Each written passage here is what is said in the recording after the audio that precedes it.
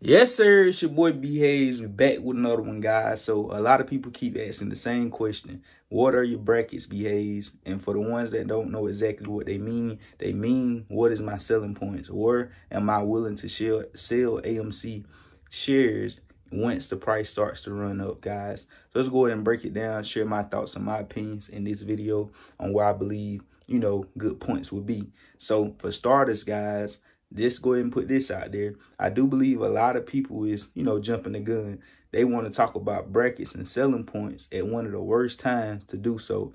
Being AM, being for the fact that AMC is at one of the lowest or the lowest points it's been throughout this whole movement. Now you want to start talking about selling points. So that's my take on it. I feel as if this topic could have waited until we at least got over that offense defense barrier where I put us at at that thirty dollar that thirty dollar that $30 barrier, being above it, put us on offense, being below it, put us on defense. So I do believe it could have waited, but since it's now, it's here, the video is here, the people steady asking, I guess we can go ahead and put it out. So let's go ahead and get into it, guys. And for starters, know that nobody knows exactly where the top is going to be or the bottom. So just as you can ease into your position, buying in, buying in your position, you can ease out your position. So don't think that you got to sell all your shares, offload them all at one time. Just, you know, and miss out on the biggest parts, the biggest the biggest runs because you definitely don't want to just, you know, sell off at one particular level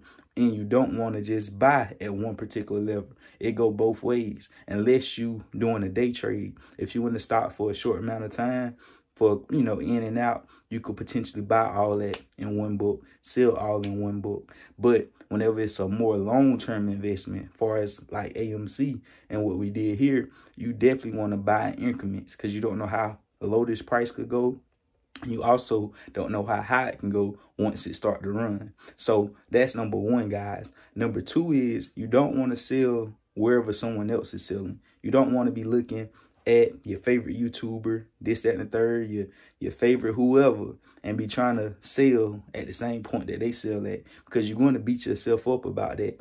Your favorite YouTuber could sell theoretically at five hundred to a thousand dollars per share, and say AMC wants to shoot off to two, three grand the next day, and you mad at yourself, beating yourself up because they had more shares than you. So they was able to be satisfied and happy with selling that that thousand dollars per share, hundreds of dollars, hundreds of dollars per share.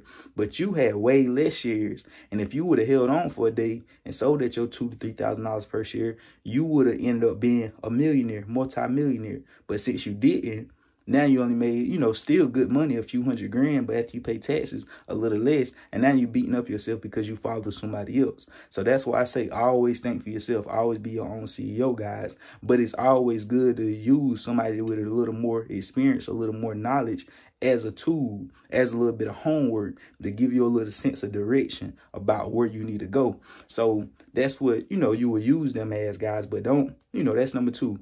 Don't follow your favorite YouTuber, try to sell when he sell or your favorite advisor, or whoever the case may be.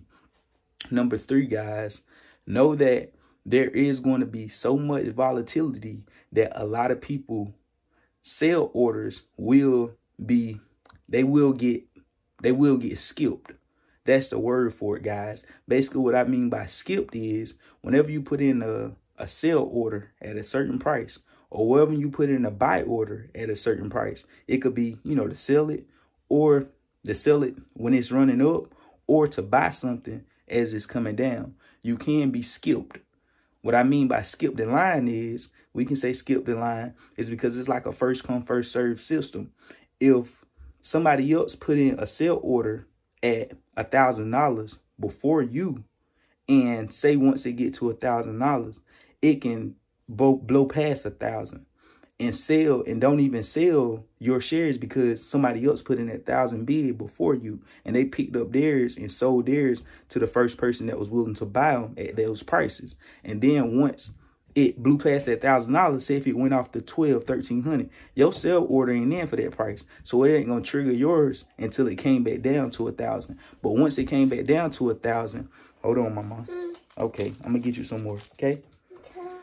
Once it came back down to a thousand, now your order skipped again because it was slippage. your order didn't get fulfilled at the thousand on the way back down as well because it blew way too fast through it. So that with the speed and the volatility at those levels and it flying past that thousand to the downside, now your order didn't get placed there or there. Now it's you know, it done maxed out. It done hit what it's going to hit. Now it's maxed out. It's falling hard. It's coming back down. 900, 800, 700, 600, 500. Now you done missed out because you done put in that sell order. Y'all here, baby girl. I'm about to get you some, mama. You done put in that sell